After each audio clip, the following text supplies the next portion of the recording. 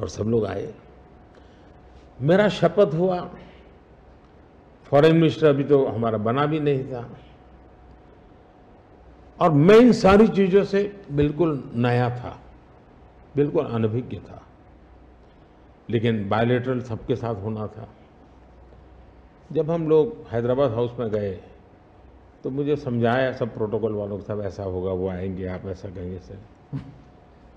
जब समय हुआ आना शुरू, मैंने कहा, ऐसा करो, मैं बाहर जाता हूँ उनको लेने के लिए।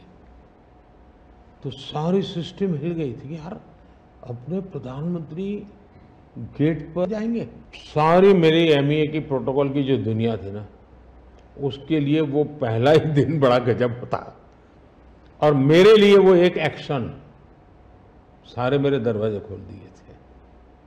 और इसलिए मैं प्रोटोकॉल में बंधने के बजाय परफॉर्मेंस पर फोकस करके डिप्लोमेसी के लेवल को शिफ्ट करने का प्रयास किया हूँ। और उसमें मुझे सफलता मिली है। President Obama president Biden president Trump इन तीनों के साथ आपने काम किया हुआ है। और यूएस इंडिया यूएस रिलेशंस एक अपवर्ड ट्रैजेक्ट्री पे है।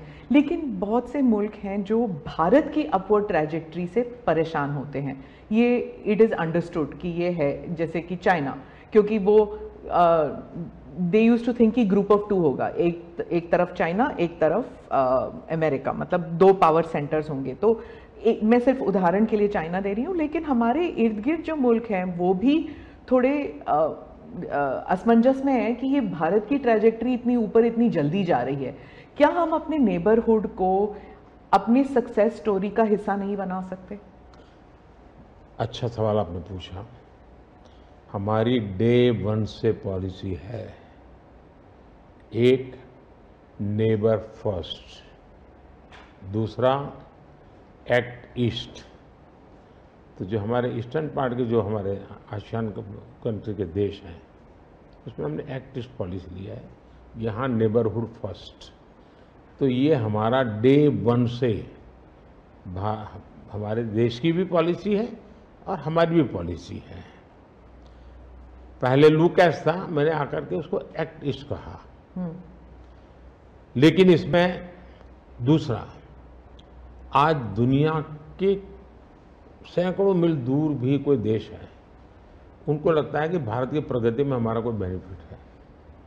तो पड़ोसी क्यों नहीं देखेगा? आज पड़ोसी सबसे ज़्यादा खुश हैं, क्योंकि भारत उनके सबसे अब जैसे कोविड के कालखंड में।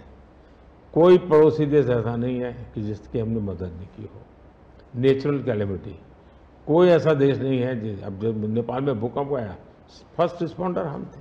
श्रीलंका में बहुत बड़ा क्राइसिस आया।